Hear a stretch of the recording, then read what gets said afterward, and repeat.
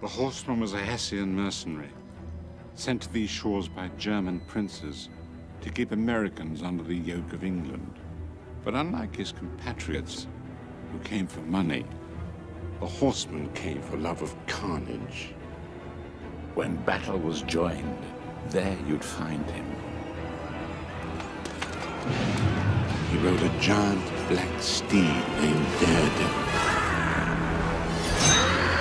He was infamous for riding his horse hard into battle, chopping off heads at full gallop. He'd filed his teeth down to sharp points to add to the ferocity of his appearance.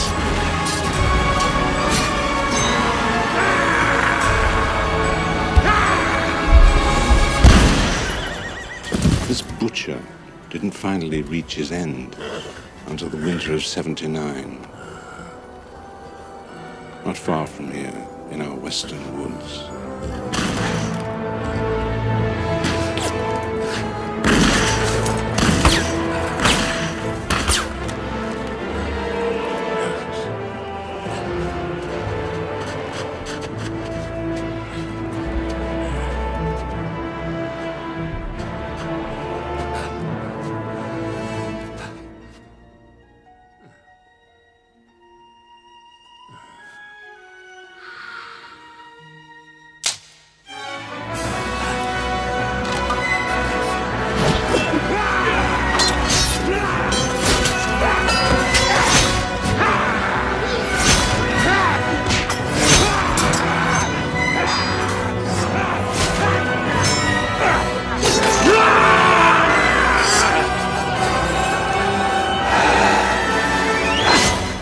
His head with his own sword.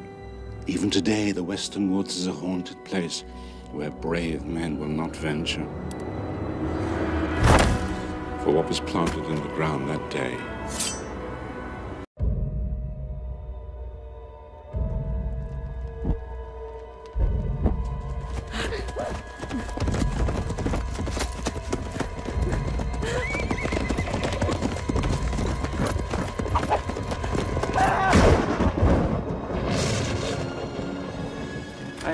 Constable Ichabod Crane, sent from New York to investigate murder in Sleepy Hollow.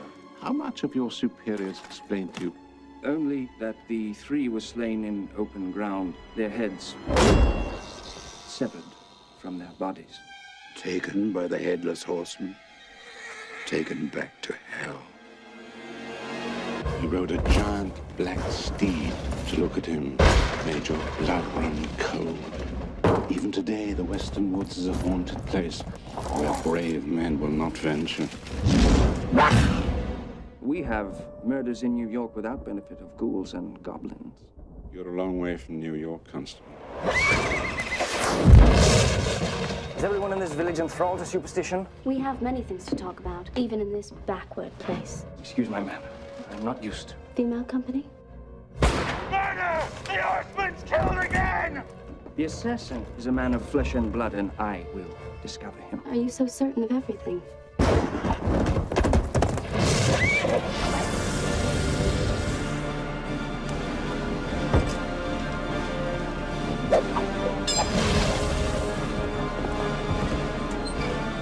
Perhaps there's a bit of a witch in you, Katrina, Why do you say that? because you've been